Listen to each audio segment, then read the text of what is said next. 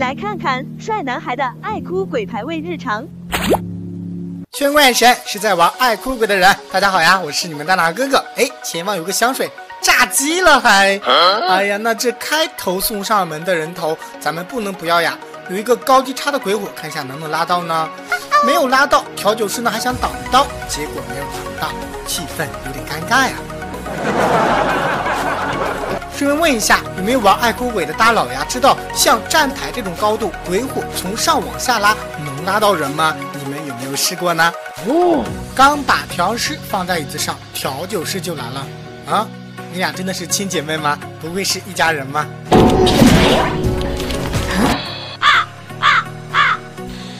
那也顺便问一下大家，你们觉得现版本的监管者呀，在四阶和五阶的排位中，是用黑白杰克还是用爱哭鬼比较强势一点呢？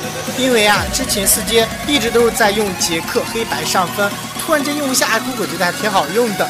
虽然说呀，爱哭鬼的技能已经改版了，但是呢，好像对于手势来说，真的要比黑白杰克要实用一点呀。嗯，看机械师又来救人了。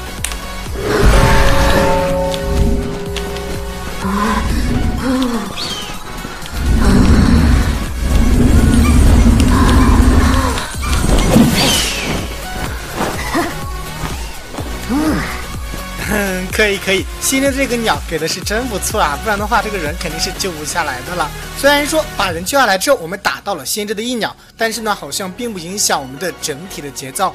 看调酒师又要倒了呀。剩下的节奏就比较好打了，底牌传送一切，哪台机子抖直接传哪边呀。